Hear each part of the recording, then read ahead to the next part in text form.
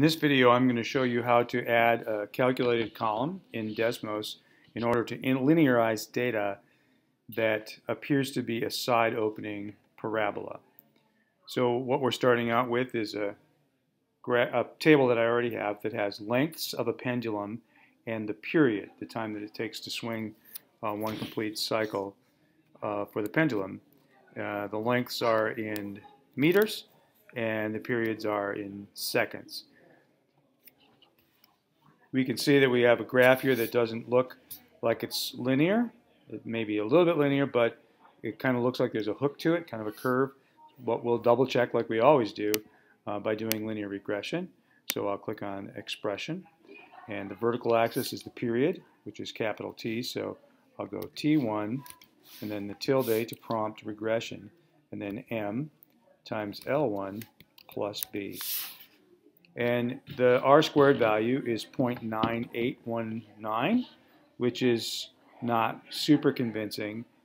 Um, and the curve of this scatter plot becomes even more visible with that regression line in there. You can definitely see it starts out below the line, moves to above the line, and then ends up below the line. So the curve becomes really prominent. So the poor R squared value plus the fact that there's an obvious different pattern leads us to think that maybe a line is not the best fit for this set of points, not a really good predictive model. So let's turn that off.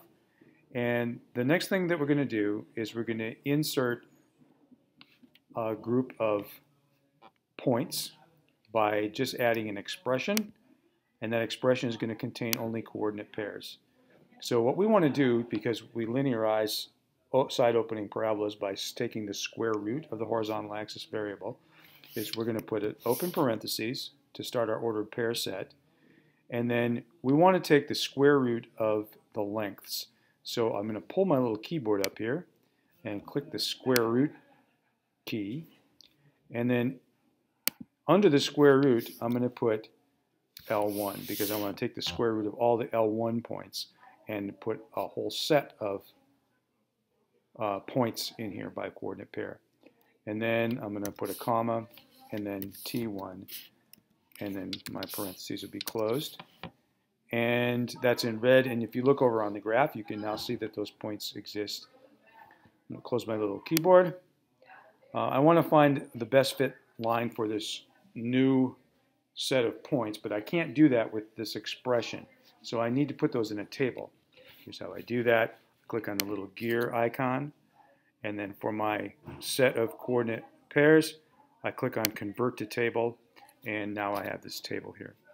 I'm going to change x, which is really the uh, squared, square rooted L1s. I'm going to change that to S1, S for square root, I guess.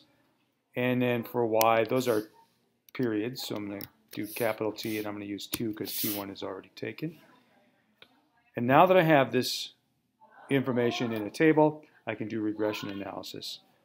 So I'll click on expression, and then the vertical axis is T2, so T2, and then tilde, M for slope, S1, the square roots of lengths, that's what's going to go in there for the horizontal axis value, and then plus B.